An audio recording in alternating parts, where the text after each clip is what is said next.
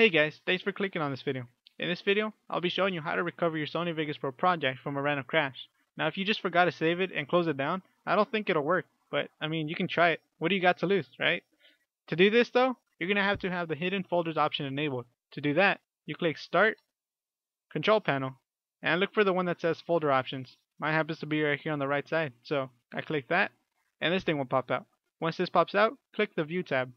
And once this pops out, look scroll down actually, or not even scroll down, just look right here where it says don't show hidden files, folders, and drives. You're going to want to click the one that says show hidden files, folders, and drives, and then click apply.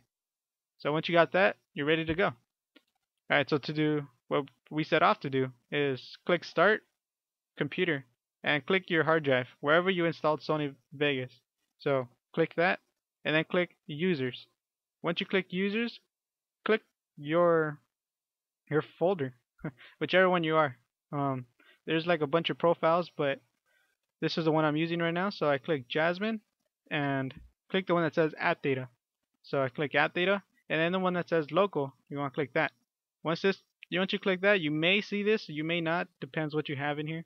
Uh, but yeah, just scroll down until you find the one that says Sony. Mine happens to be right here at the very bottom. I click that, and then click the one that says Vegas Pro.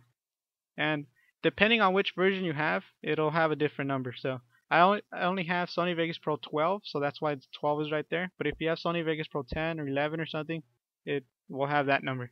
So click that, and here are all your autosaves. I don't know how many, like, what the time sequences. Like, I don't know how many times it autosaves and when it autosaves. I just know it autosaves. So, yeah. Um, yours, the one you're looking for is the most recent one. So yeah, click the first one. Mine happens to be right there. I open that up, and there you go. Now, I erased all the, the files from here because this is an old project. So I'm going to have to click ignore all missing files and leave them offline. Click OK. But all the texting happens to be here. Um, yeah, this is from an old video. But yeah, guys, that's about it. So thanks for watching this video, and I'll see you guys next time. See ya.